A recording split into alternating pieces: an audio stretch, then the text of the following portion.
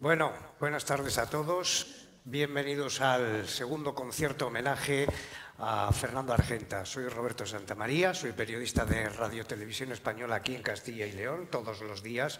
Bueno, pues les cuento las noticias a partir de la una y media que ocurren en nuestra comunidad. Solo le pongo la voz porque el trabajo duro lo hacen mis compañeros.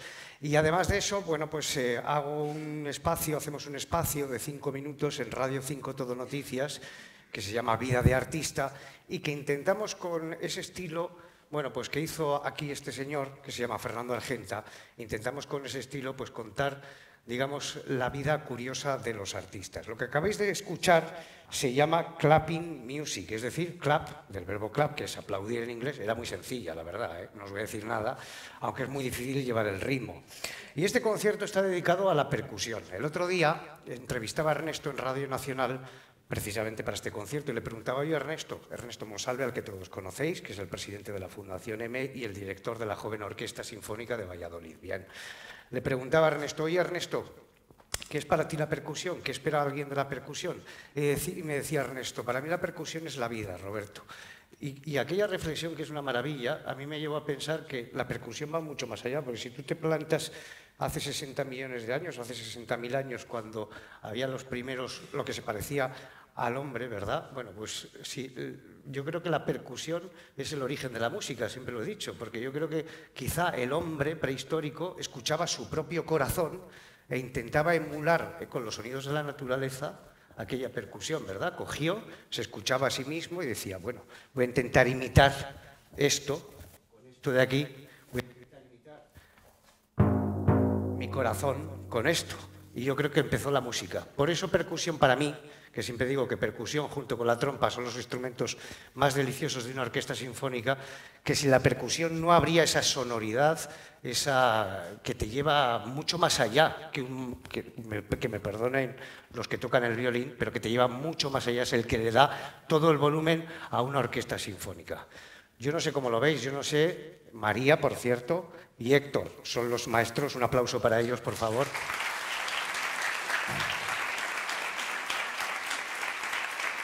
Yo no sé por qué, me voy a acercar a ella porque no tiene micrófono, ¿por qué escogiste percusión? Yo tampoco lo sé. Bueno, no es muy habitual, me decía, me decía antes de empezar que yo le decía, no es muy habitual ver a las chicas, a las mujeres en percusión. Siempre hemos dicho que la música clásica tiene un poquito de machismo, ¿no? Que es muy difícil ver o es muy raro ver a una mujer tocando la trompeta y es, muy, y es muy difícil ver a un hombre tocando el arpa, aunque curiosamente el mejor intérprete de arpa era Nicanor Zabaleta. Pero siempre asociamos ciertos instrumentos a las mujeres y otros instrumentos a los hombres cuando es absolutamente machista. ¿Por qué te dedicaste tú a la percusión? ¿Qué ves en la percusión? Hombre, ahora ya veo muchas cosas. En su día yo quería tocar la batería como todo el mundo. Ahora no me gusta. ¿Y tú, Héctor, por qué la percusión? Por mis padres por ahí. Yo desde los tres años ya quería tocar la batería y por ahí tiré. Y como dice, a mí me, sigue gustando, pero luego te, te, encaminas a un mundo más clásico, más diferente. No sé Pues magníficos instrumentos, todos los de la familia de percusión. Hay, hay obras maravillosas que no tienen ningún sentido, por ejemplo, la suite del cascanueces sin el triángulo, que sería sin ese sonido cristalino que escuchamos como que parece que de fondo, como que, como que no está ahí, pero que está. Y que si lo quitas, no tiene ningún sentido toda esa obra. Bien, este homenaje, este concierto, es el segundo concierto para este señor, para que para mí fue lo dije en el primero y lo vuelvo a repetir en el segundo. Fue quizá una de las personas que más me ha influenciado en mi vida. Yo lo escuchaba cuando era un crío en la radio, no me gustaba la música clásica. Recuerdo por primera vez cuando escuché el programa Clásicos Populares de Radio Nacional de España, que fue en 1985, y no se me olvidará la vida porque aquel día dieron el maravilloso cuarteto de la ópera Rigoletto, la Figlia del Amore, y nunca se me olvidará que teniendo aquella edad que tenía, bueno, pues me influenció tanto que desde entonces me sigue gustando la música clásica. Y no solo me gustaba la música clásica, sino lo más importante en la música, que es divulgarla y cómo divulgarla. Y este señor hizo lo que poca gente ha hecho en nuestro país, creo que el único, ahora lo hace Ramón Gener en su maravilloso programa Disis Ópera en televisión española. Bueno, este señor consiguió hacer ameno, divertido, que te gustase lo que en principio parece ¿no? una música para cuatro, para cuatro que estáis aquí por la tarde, cuatro raros que venimos a escuchar este tipo de música intelectual, culta, le llamarán así hasta el asco, pero nadie puede pensar que cuando escucha la apertura de Guillermo Tell de Rossini es una auténtica maravilla. Cuando tú escuchas, yo qué sé, la flauta mágica es una auténtica maravilla. Cuando escuchas, pues para mí el, el Tannhauser de Wagner es una auténtica maravilla. Bueno, no me quiero enrollar más, os voy a dejar paso. Esto es de percusión, la familia de percusión. Mi teoría, porque no hay nada escrito, es que es la, primera familia de instrumentos que apareció en la historia de la humanidad que la percusión, como decía Ernesto, es la vida, que la percusión es imitar los sonidos.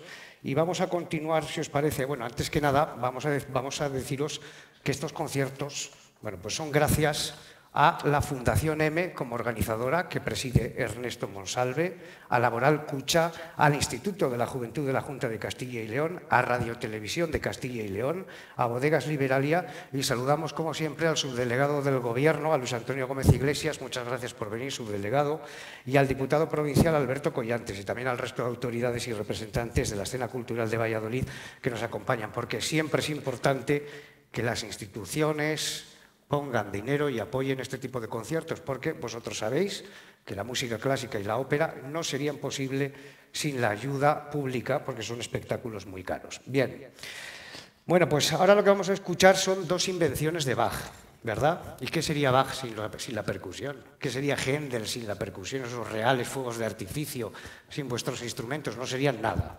Entonces, vamos a escuchar esto que pertenecen a los instrumentos de lámina y que pertenecen a la familia de, yo lo he apuntado porque era muy raro, os lo he dicho antes, percusión determinada. ¿Qué quiere decir esto? Porque al percutirlos producen sonidos concretos o afinados y para percutirlos necesitamos baquetas, ¿verdad? Que son lo que lleváis en la mano. ¿Y diferencia? ¿Y qué, con, por qué son unas más gruesas y otras más delgadas? ¿Qué? Son más blandas, son más duras. Son más blandas, pero ¿influye el grosor de la baqueta a la hora de producir el sonido? Y son de madera. Esto es una marimba, ¿verdad? Y son de madera. Esto por eso, para que sepáis que estas van a sonar de madera. Bueno, pues cuando queráis, y espero que os guste.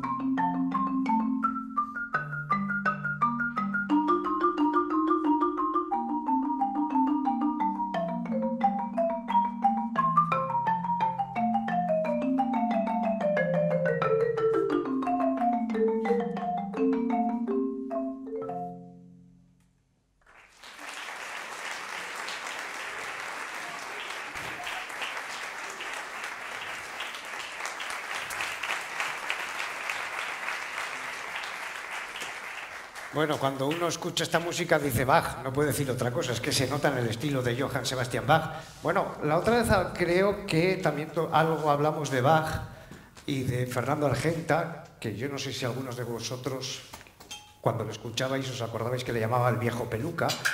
Él aprendíamos, no se me olvidara del viejo peluca, con él aprendíamos que tenía 21 hijos, que tuvo 21 hijos de dos mujeres, o 21 o 23, yo no me acuerdo, perdí la cuenta pero eh, de dos mujeres distintas, que murió pobre, murió completamente pobre, murió ciego porque le operó un médico muy famoso de la época que tenía ganas de, bueno, porque creía que tenía un sistema infalible para operar las cataratas, pero se equivocó. Y creo, si no, que también dejó el mismo médico ciego a Händel. Y también de Bach y su mujer, Ana María Magdalena, que es de Bach, su mujer en la historia de la música, ¿verdad? Y también Ana María murió pobre mujer y también sus hijos, los pocos que le quedaban, le quitaron todo el dinero y murió pobre.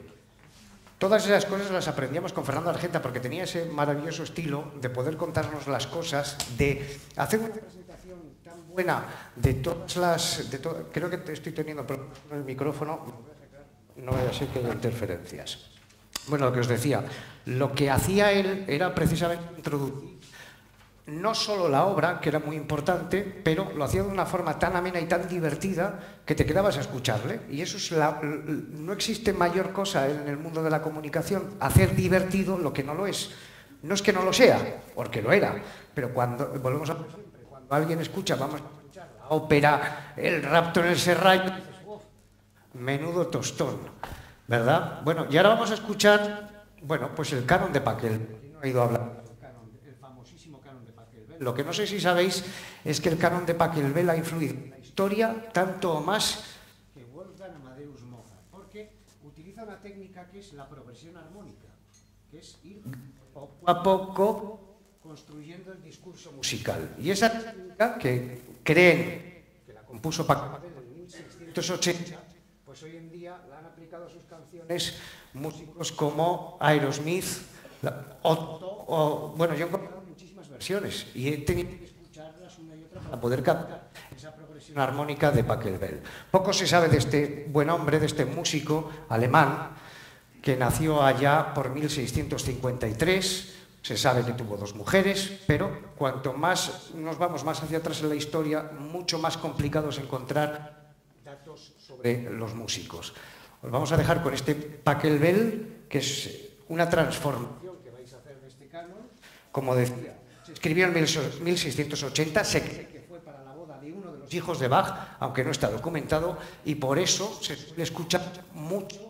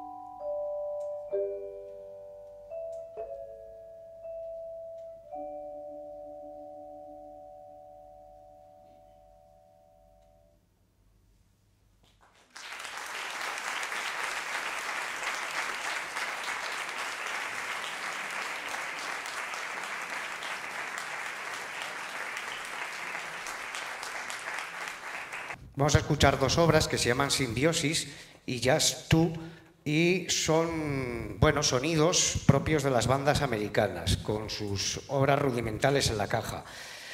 Estas bandas, las bandas militares, tienen su origen cuando iban a la guerra en cómo decirles a los soldados cómo tenían que ponerse en posición de una forma o de otra.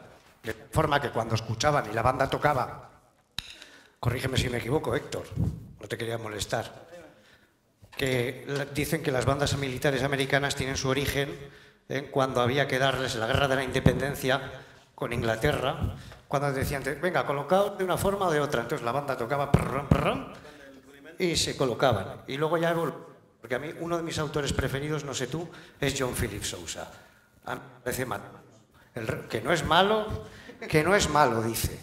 La marcha del Washington Post, la campana de la libertad, siempre fiel, siempre fidelis, son en la historia de la música unas marchas maravillosas. Se podrá considerar un, compositor menor. Yo no sé si conocéis las marchas de John Philip Sousa pero son una, auténtica maravilla. De hecho, los Estados Unidos está considerado, vamos, monumento nacional, su casa, la van a visitar todos los estadounidenses porque sus obras son maravillosas. Bueno, pues vamos a escuchar Simbiosis y Just Tú, que no sé quién es el autor de estas, de estas músicas.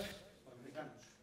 ¿Perdona? Americanos, en general. O sea, no sabemos, de, anónimo. No, no, sí que se sabe, pero son... Son, son que no nos conoce nadie. Pero bueno, ¿qué pasa? Claro, Héctor, Héctor y María, Héctor Varela, por cierto, y María Rojo, nos traen obras que son para solistas de percusión. Daos cuenta que eh, el, crear o el componer para solistas en percusión es algo muy reciente, porque ni Beethoven lo necesitó, ni, tampoco Wagner, ni nadie. O sea, no había piezas para ello.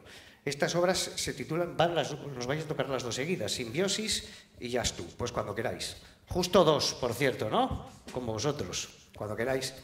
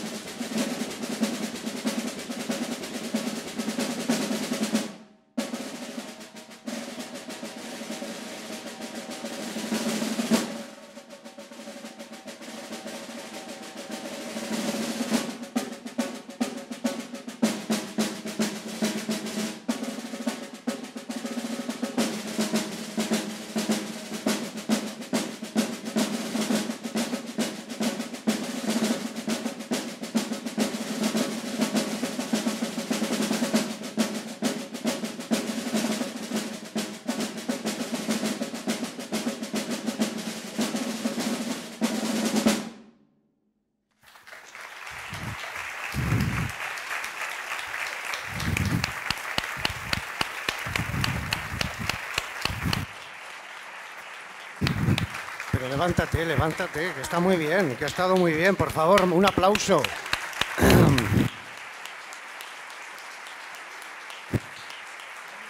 A mí me parece, espectacular. Hombre, la primera a mí me daba un poquito de mal rollo, porque con esos redobles me recordaba cuando iban a ejecutar a María Antonieta en, en la guillotina. Parecía un poquito como así, ¿no? Bueno, estábamos escuchando lo que os decíamos que eran bandas rudimentarias norteamericanas, ¿no? se supone que es ese sonido militar de cuando iban a la guerra de la independencia. Me recordaba la batalla del himno de la República, que es un himno maravilloso. Y hablamos también, por ejemplo, de las marchas militares, ¿no? De donde sale nuestro himno nacional, de las marchas militares de Manuel Espinosa de los Monteros, y también, que era la número 3, quiero recordar, que de ahí sale nuestro himno nacional, y de la número 2, que sale una sintonía de Radio Nacional de España en la época de Franco, que se llamaba La Generala, que fue adaptada por el padre Otaño, que esa era la sintonía de mi casa, de Radio Nacional. Y ahora vamos a escuchar, vamos a seguir con este se lo llama tambor. Tamboril, caja, caja, una caja. Y ahora explícanos un poco. Son tres. ¿En qué se diferencia cada uno de ellos? El tamaño y la afinación. Y la afinación. ¿Y qué producen? ¿Sonidos distintos? ¿Y cómo se le llaman? Se llaman de percusión de... De parches o membranófonos. Membramófonos. Entonces veis que son tres, porque siempre los veis como al final de la orquesta, ¿no? Allá atrás, como haya perdidos los pobres, los de percusión arriba a la izquierda o arriba en el medio, que parece que solo le dan al, tambor, al pero son tres, y ahora a ver la complicación que tiene tocar este instrumento. Pues, queráis, vamos a escuchar otro diálogo para tambor militar pequeño y timbales de Garwood Wiley, y son los sonidos rudimentarios americanos los mismos que hemos escuchado anterior, pero ahora la diferencia es que esta obra nos va a enseñar, Héctor, los cambios de timbre en todos los instrumentos. Pues cuando queráis.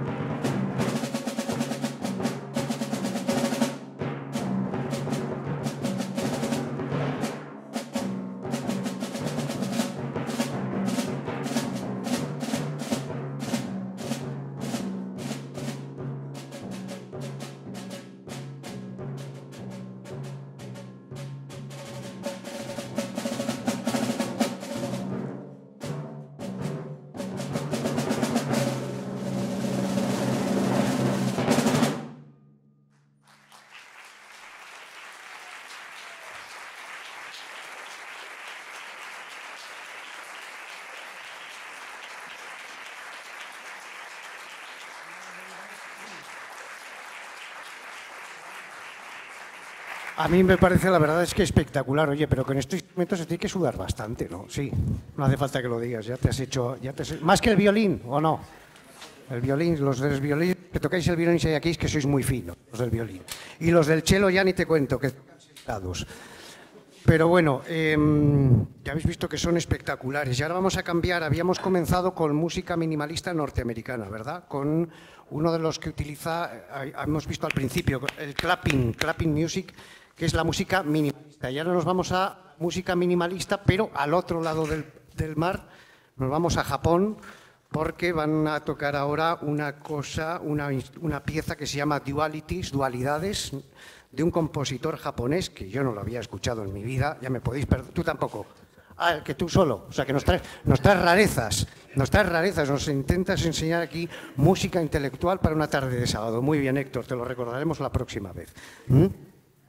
El autor se llama Aiko Miyamoto y es, repito, Aiko Miyamoto, no Mimoto, Miyamoto. Y eh, como decíamos, es música minimalista asiática y que en realidad se debería tocar con un tambor japonés que se llama taiko. Vale, taiko, lo he tenido que buscar. Un tambor de origen japonés, como decimos, tocado con, otra vez, baquetas que se llaman baki, ¿no? Es lo que, es lo que me decía la enciclopedia, no la Wikipedia, ¿eh? una buena enciclopedia. El taiko es empleado en, en- en eventos festivos tradicionales del Japón, como la danza tradicional Bon Odori. Este taiko pesa mucho, pero mucho, mucho. Pues he visto una fotografía y es gigantesco. Tanto que se suele dejar fijo en el suelo como los pianos porque pesa entre 290 kilos y 325.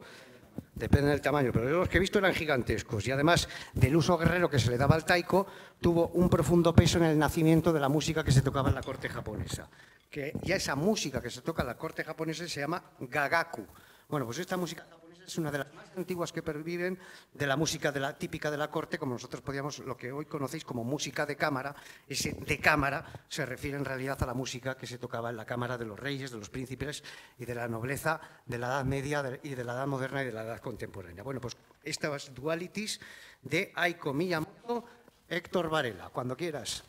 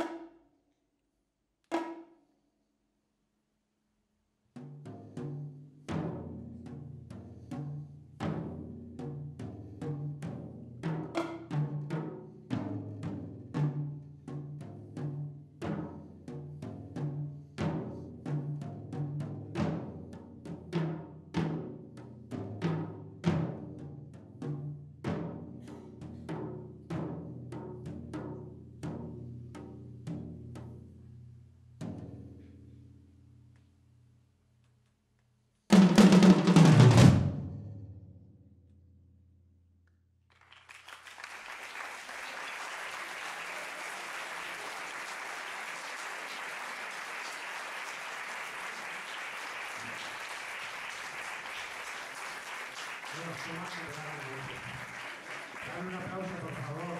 Otro más, otro más.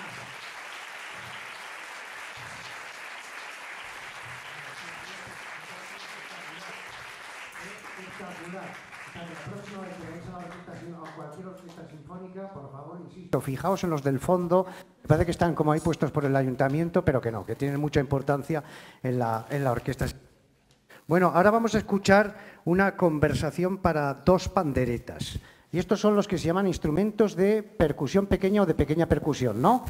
Y además de las panderetas tenemos, corregidme si me equivoco, el triángulo, el cencerro, todos esos instrumentos pequeños y raros que, que, por ejemplo, escuchamos en la Sinfonía de los Juguetes de Leopoldo Mozart, por ejemplo, ¿no? Son los, pe- los pequeñitos, todos son los que se utilizan para darle ciertos sonidos exóticos a la orquesta, etc. Bueno, de hecho, estos instrumentos de pequeña percusión método de enseñanza musical de un compositor que se llama Karl Orff, que los utiliza para enseñar música a los niños. Karl Orff es el que compuso Carmina Burana, que seguro que la conocéis, porque es, es- bueno. Las dos panderetas, cuando queráis.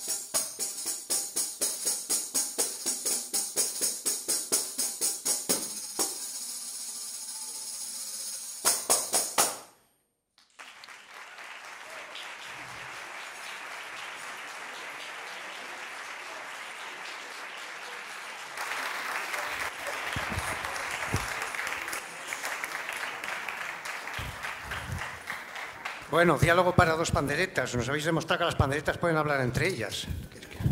¿O qué? Más o menos, dice Héctor, más o menos. ¿no? Es espectacular veros, tocar porque nunca tienes la oportunidad de ver de forma aislada los instrumentos que en una orquesta, pues como decía antes, ¿no? están como atrás, pero aquí nos los estáis ofreciendo en, en vivo. Bueno, y ahora nos vais a intentar dos movimientos para marimba. Decíamos antes que la marimba está hecha de madera. ¿Verdad? Y a diferencia del vibráfono que estaba hecho de metal y, con diferencia del xilófono que va en función de la tesitura que utilizaban cada uno. Bueno, antes se lo contaba Héctor, pero decía Héctor que es un instrumento, mira cómo se ríe, dice, lo vas a dejar en vergüenza, que toca el instrumento y no se sabe de dónde, cuál es su, cuál es su origen. Yo tampoco, lo he tenido que mirar en una enciclopedia. Bueno, la marimba es un instrumento que se supone llevaron a Guatemala desde eh, los esclavos africanos. Se supone que empezaron de forma rudimentaria y allí, pero bueno, hay muchas teorías, esto es lo de siempre, porque se supone que es en el reino de Guatemala entre 1492, cuando llegamos los españoles allí, lo conquistamos, bueno, pues en toda esa época se desarrolla la marimba. Y eh, bueno, la música ha sido ya tan del Pacífico Sur de los Estados Unidos que en el año 2010 ya ha sido incluido como patrimonio material de la humanidad. Bueno, pues este es eh, la marimba a que, a que toca ella sola. Oye, y, te puedo acompañar si quieres. Yo he, lo he, aprendido viéndote dos veces, yo creo que es muy fácil. Bueno, pues cuando quieras. Va a interpretar estos dos movimientos para marimba.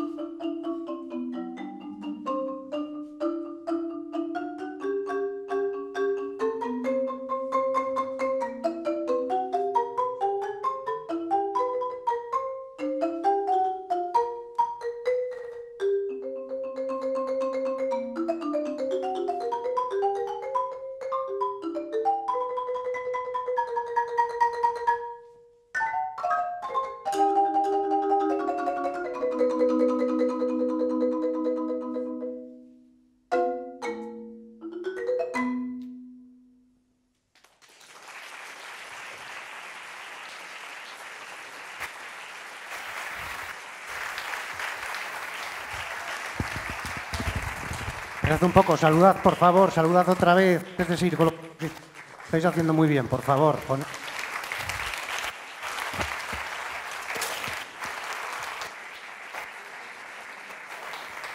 Bueno, pues vamos con una minimalista, también de origen asiático, corregidme si me equivoco, es asiática también esta obra, es atonal, contemporánea, que tiene cuatro movimientos en la que se van a emplear bueno, pues toda la variedad de la familia de los instrumentos de percusión de los que ellos llaman de láminas.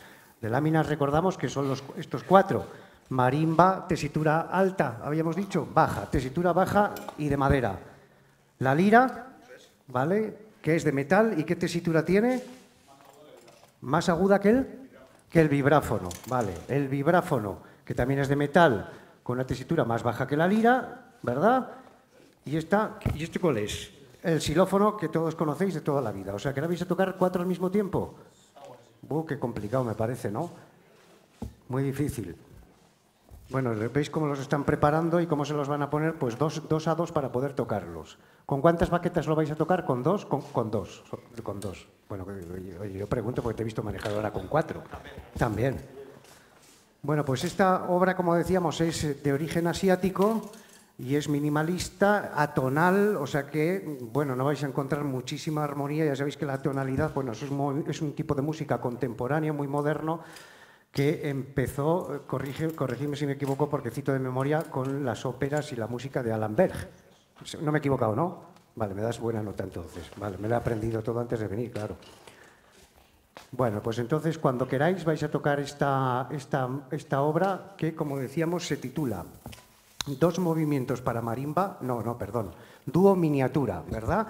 Y es como una suite, me contaba Héctor, con los movimientos típicos de la suite, que es lento, rápido, lento y rápido. Bueno, pues cuando estéis preparados voy a quitar este micrófono de aquí que os estorba. A ver si te vas a creer que es un... Claro, que es una baqueta y le vas a golpear. Bueno, pues cuando queráis. O sea, Héctor, ¿tú tocas tres? Yo sí. Ah, o sea, ya tres y ya uno. Yo no digo nada. Ya están, tranquilos, ¿eh? con tranquilidad, que os estoy ahí metiendo prisa. No, no hay prisa. Cuando queráis, gracias.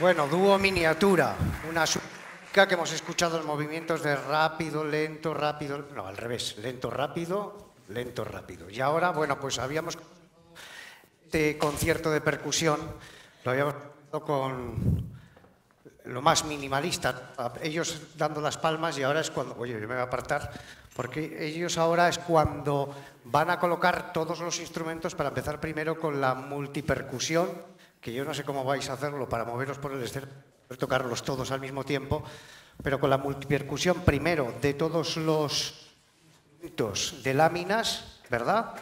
Vibráfonos, xilófono, la lira y la marimba. Oye, que me estáis acorralando. A ver, espérate a ver, que voy a salir por aquí. Es que, esto es un lío de instrumentos, ¿eh? La próxima vez, la próxima vez aquí hay que traer a alguien para que os ayude a mover todo esto. Bueno, entonces decíamos, todos los instrumentos, la variedad de los de láminas, el, el vibráfono, el xilófono, la lira y la marimba, una obra lenta con la suite clásica, que es lo que acabamos de escuchar. Y ahora, pues vamos a otra, ahora, como decíamos, hacia la multipercusión. Muchos instrumentos y muchos timbres pero con los denominados instrumentos de parches. ¿Me equivoco? No, me equivoco. No, con los instrumentos de parches. ¿Y cuáles son los de parches? Vale, venga. Espera que os eche una mano porque estoy aquí, que, que... Lo traemos para acá. Vale. Ahora con los instrumentos de parches, que son los que llevan membranas, ¿verdad? ¿Y cómo se consiguen las diferentes sonoridades con cada uno de ellos? ¿Son las baquetas las que los consiguen?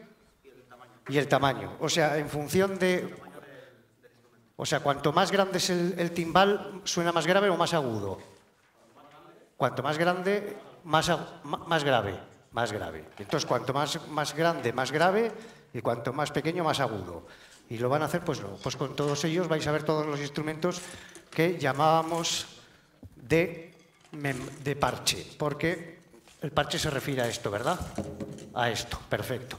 Bueno, no os olvidéis, este es el segundo concierto a Fernando Argent, que eh, bueno, pues fue uno de los mayores de la música clásica de la historia de nuestro país, que fue para todos los, todos los compañeros de Radio Televisión Española, periodista de Radio Nacional de España, que dirigió clásicos populares, nada más y nada menos que 32 años en antena, un programa de música clásica que lo presentaba con Araceli González Campa. desde 1976, nada, hombre, no voy a estar hablando, desde 1976 hasta el año 2008, año en el que Fernando Argenta se prejubiló y abandonó Radio Televisión Española. Luego también hizo el programa por la mañana, en los que del año 2000 al 2008 que intentaba hacer y divulgar la clásica. Fernando Argenta era hijo de los directores de orquesta más famosos de nuestro país, de Ataulfo Argenta, que fue eh, también uno de los mayores divulgadores de lo más nuestro, ¿no? que es la, zarzuela. Y Fernando Argenta, pues no solo era músico, también, aparte de hacer periodismo, estudió Derecho y nada, y se murió, pues se murió en el año 2013. Y la Fundación M, que preside Ernesto Monsalve, bueno, pues ha querido hacer este homenaje de cuatro conciertos para recordar su figura y para, bueno, pues para homenajear, ¿no? porque creo que es de derecho homenajear, homenajear a Fernando toda esa divulgación que hizo por la música clásica. Bueno, ¿qué? ¿Me he enrollado lo suficiente para que tiempo a poner los? Ya está. Bueno, ala. Pues entonces, vamos a las vais a hacer las dos seguidas, ¿verdad? ¿O no? O sea, que luego tengo que volver a hablar otra vez. Bueno, se va a aburrir la gente. ¿eh? Bueno, yo no os digo más. Bueno, vamos a escuchar dos últimas obras. Una que se llama Rare Earth, que es Tierra extraña, ¿verdad? Y entonces, como decíamos, multipercusión muchos instrumentos y muchos timbres con los denominados instrumentos de parches. ¿Correcto? Pues cuando queráis.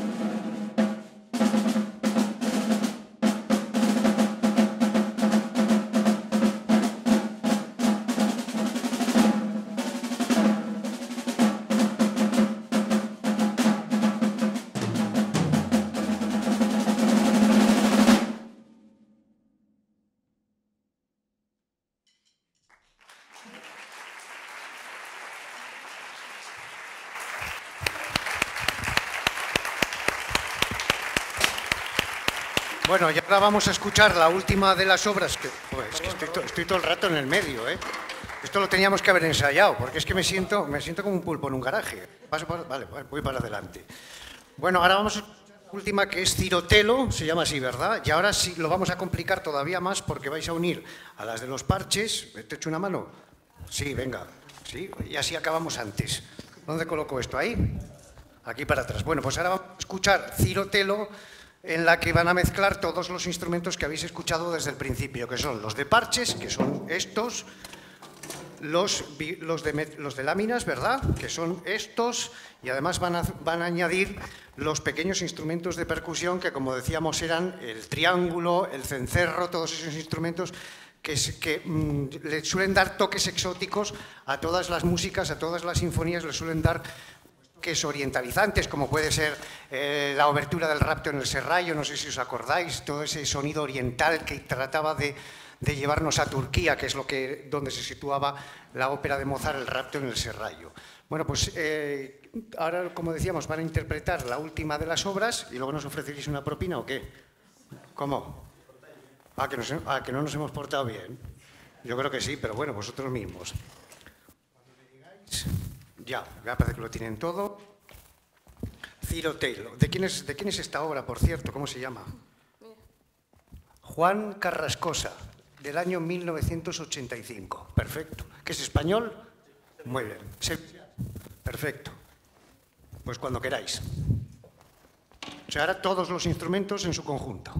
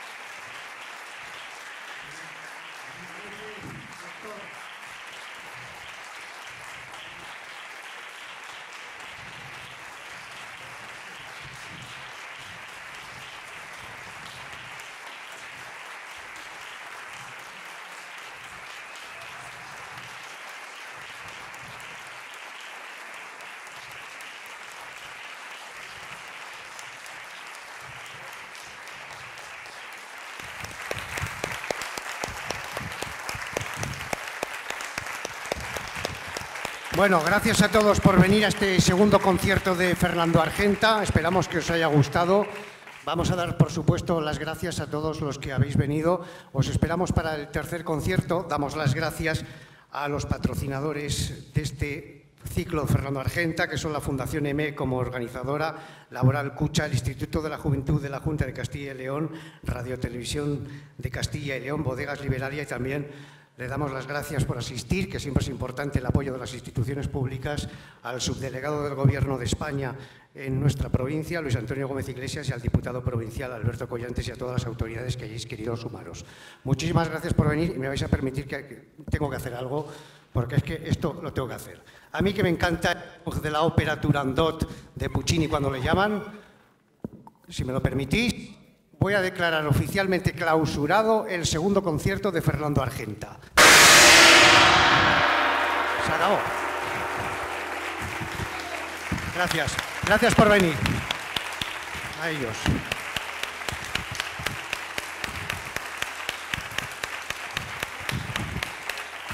Enhorabuena.